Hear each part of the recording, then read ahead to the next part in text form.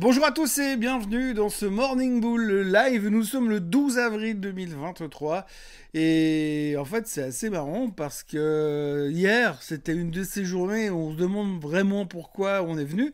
Et en fait, plus on réfléchit, plus on regarde ce qui s'est passé durant la séance, plus on comprend pourquoi on est venu fondamentalement. On est venu pour se poser plein de questions, pour euh, savoir euh, ce qu'il fallait faire de l'avenir et ce que les chiffres de cet après-midi allaient changer dans nos vies. Alors ce qui est vraiment intéressant dans tout ça, c'est que depuis quelques mois, on était euh, parvenu à changer un peu notre vision des choses et avoir une vision un tout petit peu plus loin que le bout de notre nez et on regardait vraiment ce qui allait se passer dans l'économie, dans les comportements de la fête pour ce printemps, cet été, voire même la fin de l'année. Même certains avaient déjà commencé à prévoir ce qui se passerait en février ou en mars 2024. Et puis là, tout d'un coup, il y a un gars qui est arrivé au milieu du bureau au courant hier après-midi en disant Ah, mais attendez, parce qu'aujourd'hui, il y a le CPI. Et tout a changé. On est revenu avec une vision euh, là tout de suite.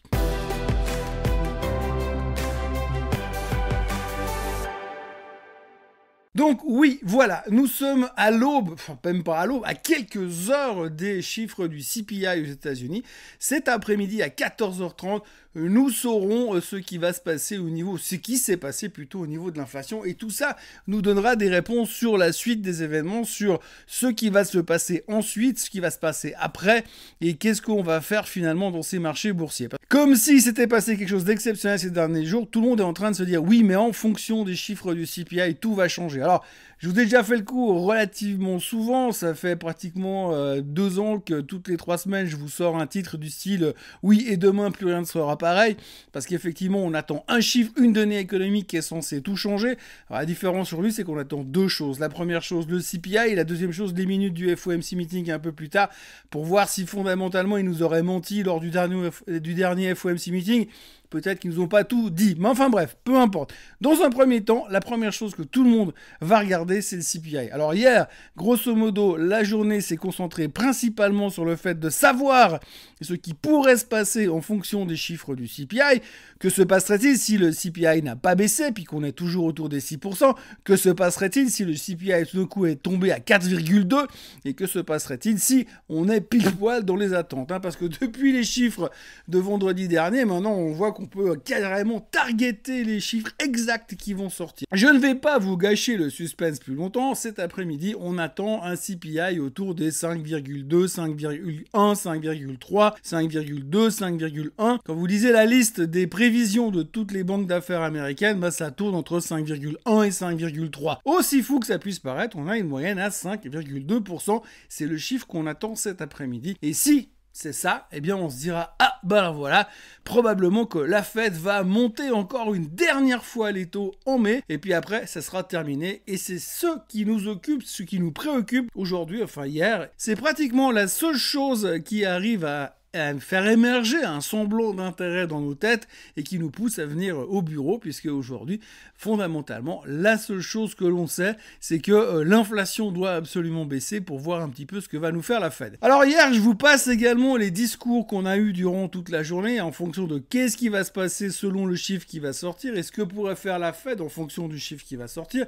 Chacun y va de son avis, mais comme d'habitude, personne ne sait rien. Et puis cet après-midi, on pourra de toute façon faire un énorme coup de sac et recommencer la même histoire euh, pour voir ce qu'il en est et comment les marchés vont pouvoir réagir ensuite. Parce qu'il est vrai que quand le CPI sortira tout à l'heure, ce ne sera pas marqué avec le package, avec un CPI pareil, la Fed va monter les taux de 0,25% euh, lors du prochain meeting, mais après elle ne fera plus rien. Après, il faudra encore interpréter. Et pour encore interpréter, eh bien on va attendre 5 heures et 30 minutes de plus pour avoir les minutes du FOMC meeting, et donc les minutes qui ont été écrites il y a 3 semaines, un mois en arrière, et par rapport à ça, on pourra essayer de faire des interpolations et arriver à mettre au point un scénario, scénario qui sera de toute façon euh, ouvert à tout changement dans les jours qui viennent en fonction des prochains chiffres économiques et de la publication des trimestriels qui vont commencer euh, à partir de demain soir. Donc voilà, franchement, c'est ce genre de journée où euh, je me lève à 4h du matin et j'arrive devant mon écran et je me dis mais qu'est-ce que je vais bien pouvoir raconter? Alors là, je vais pas non plus passer la journée à vous raconter ce qui s'est passé hier parce qu'il s'est pas passé grand-chose. Quand vous regardez les trois indices, vous avez le Dow Jones qui est monté un peu, vous avez le S&P 500 qui a terminé en baisse ou en hausse de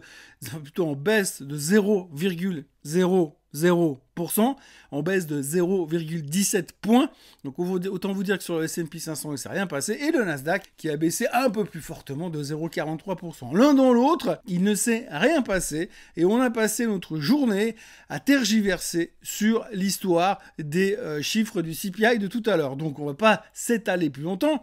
On va regarder ce qui va se passer à 14h30. Par contre, ce qui est assez intéressant quand même, et ça je le relève depuis plusieurs jours, c'est que la majorité du marché eh bien, la majorité des experts sont extrêmement négatifs. Même moi qui suis plutôt bullish en général, d'où le nom de la chaîne, Morning Bull, je me retrouve aujourd'hui à me dire, mais est-ce que réellement ça vaut la peine de continuer à monter? Est-ce qu'il y a des justifications pour que ça monte Est-ce que réellement la valorisation des actions aujourd'hui est correcte? La réponse est non, c'est beaucoup trop cher par rapport à la moyenne historique, surtout qu'on attend des chiffres tout pourri à partir de cette semaine. Bref, il y a plein de raisons qui justifient que le marché est trop cher, trop haut, et qu'on n'est pas vraiment en mode hyper décontracté du slip pour aller voir monter le marché beaucoup, beaucoup, beaucoup, beaucoup plus haut. Sauf qu'aujourd'hui, quand on regarde les statistiques, justement, eh bien, la majorité des experts, des gourous, des stratèges, peu importe comment vous voulez appeler ça, ils sont tous négatifs. Les grandes banques américaines sont tous négatifs. Ils pensent tous que c'est trop cher. Et ils pensent tous qu'on doit avoir une correction pour pouvoir re-rentrer dans le marché des actions. Le problème, c'est que souvent dans les marchés, quand c'est évident, eh bien c'est évidemment faux. Et donc ça fait pratiquement depuis 2011-2012 qu'on n'a plus eu un niveau de négativisme aussi élevé sur les marchés financiers. Et puis ben, statistiquement, quand on a un niveau de négativisme aussi élevé sur les marchés financiers, eh bien les marchés financiers ils font quoi? Ça monte. Oui, ça monte encore et ça continue de monter. D'ailleurs, on se souvient, 2011-2012, hein, euh, crise européenne, panique totale, toutes les banques vont mourir, c'est fini, on s'en sortira jamais. Et depuis, eh bien, depuis, on n'a plus jamais revu ces niveaux, ça a fait que monter, alors qu'on avait toutes les justifications du monde pour les avoir comme ça et se dire que jamais on s'en sortira. Pourtant, on est monté quand même. Donc aujourd'hui, on est un peu dans ce milieu-là. On sait pas trop où on va. On a plein de justifications qu'on peut trouver, hein, des choses qui vont pas bien, des inquiétudes qui nous tombent dessus, des risques qui arrivent de récession, d'inflation, d'inflation qu'on n'arrive pas à faire baisser, mais de récession qui vient quand même. On parle de stagflation, on a tout ce qu'on veut. Et ben si on regarde historiquement, si on regarde statistiquement, eh bien normalement, il y a tellement de négativisme que les marchés devraient quand même continuer à monter. Alors, est-ce que c'est un conte de fées Est-ce que c'est pour de vrai ou est-ce que ça va réellement se produire?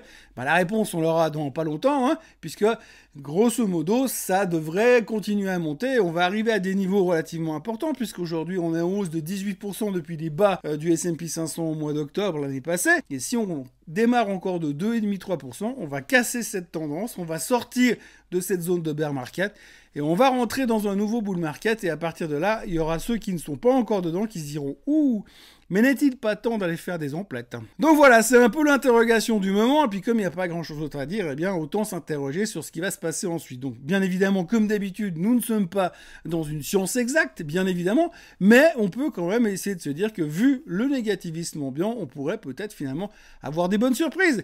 Et puis puisqu'on parle de négativisme ambiant, si on regarde les résultats trimestriels qui vont nous tomber dessus dans quelques jours, eh bien ces résultats trimestriels, eh bien ils sont tellement attendus à la ramasse qu'à partir de là, peut-être qu'on va finalement avoir des bonnes surprises. Alors à côté de ça, comme on est un peu dans une phase au milieu de nulle part, je rappelle qu'il y a quelques semaines on voulait faire du long terme, aujourd'hui on est revenu à du très court terme, eh bien on a aussi pas mal de gens qui viennent raconter tout et n'importe quoi et ça vaut la peine de le signaler quand même. Hier il y a un type, je vais pas citer son nom parce que ça n'a aucun intérêt, le mec a fait une, une annonce, d'ici le mois de juin il va y avoir un crash de 92% sur le Nasdaq et de 95% sur le Bitcoin. Alors ça rigole pas, hein, c'est très précis, c'est 92% de baisse sur le Nasdaq. Pas 95, pas 83, 92. Donc préparez-vous, d'ici le mois de juin, crash boursier généralisé, c'est la fin du monde. Ça c'était une annonce qu'on a eue hier.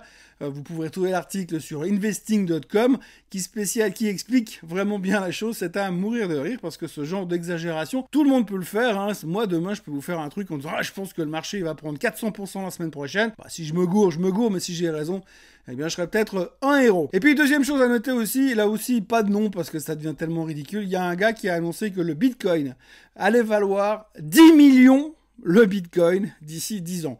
Donc ça va, hein. aujourd'hui ça vaut à peine 30 000 balles. Si vous achetez un bitcoin pour rigoler, dans 10 ans, il est probable que ce sera beaucoup plus rentable que d'avoir investi dans votre caisse de pension. Et puis, on va terminer avec euh, la fabuleuse nouvelle du jour. Euh, oui, parce que alors, aussi fou que ça puisse paraître, dans cet environnement, on ne parle que du CPI, que de l'inflation, que de la récession à venir ou pas récession à venir, que des inquiétudes à venir, que de, que de, que de, mais alors très peu de nouvelles fondamentales aujourd'hui. Hein. Par contre, il y a un truc qui était assez fou, c'est qu'hier, le National a donc... Euh, euh, désavoué le Conseil fédéral par rapport au rachat du Crédit Suisse. Donc euh, c'est énorme. Révolution au palais fédéral à Berne. Le national n'est pas d'accord avec le Conseil fédéral. Alors, c'est assez fou, hein, parce que là, on se dit, qu'est-ce qui se passe? Il y a une révolution qui couve en Suisse? Non, pas du tout, parce qu'en fait, ce qui se passe, c'est que de toute manière, le Conseil fédéral, la BNS et la FINMA, ils ont déjà pris les mesures. Tout a déjà été attribué, euh, autorisé, mis en place. Donc, de toute façon, quoi que dise le Conseil national, il pourrait aussi euh, venir se mettre tous en ligne et danser la Macarena. Ça changerait pas grand-chose. Donc c'est un vote symbolique de rébellion à Berne qui a eu lieu hier, mais ça ne changera rien au takeover sur le Crédit Suisse et ça ne changera rien au fait qu'on ne nous a pas trop demandé notre avis par rapport à ce qui devait être mis en place pour sauver le Crédit Suisse et ni aux créanciers obligataires et ni aux actionnaires. Donc euh, c'est une révolution sous-jacente, mais une révolution timide quand même. Hein. Voilà, donc on est vraiment dans une journée, on était hier dans une journée relativement calme. Aujourd'hui, on va avoir du grain à moudre avec les chiffres du CPI, bien sûr, et les euh, chiffres, les chiffres, mais la publication des minutes qui sortiront ce soir. Et puis alors, pour la petite information, au cas où vous avez raté ça, on n'a toujours pas trouvé de solution pour le plafond de la dette aux États-Unis. Sur ce, n'oubliez pas de vous abonner à la chaîne Suisse Côte en français. Là, nous sommes à 29 950 followers. Alors, les 30 000 ne sont pas acquis, mais avec un peu de chance, demain, on pourra euh, fêter ça tous ensemble. Alors, n'oubliez pas de vous inscrire et de faire inscrire euh, la grand-mère, le cousin, le grand-père pour augmenter le nombre d'inscrits et de followers. N'oubliez pas de liker cette vidéo, même si aujourd'hui c'était un petit peu on est au milieu de nulle part et on attend posé sur le banc. Et puis, euh, bah, on se retrouve demain pour analyser euh, les chiffres passionnants du CPI et pour commencer à parler des résultats trimestriels des bancaires qui seront peut-être notre phare dans la nuit en ce début de saison des résultats trimestriels. Passez une très bonne journée et à demain. Bye bye.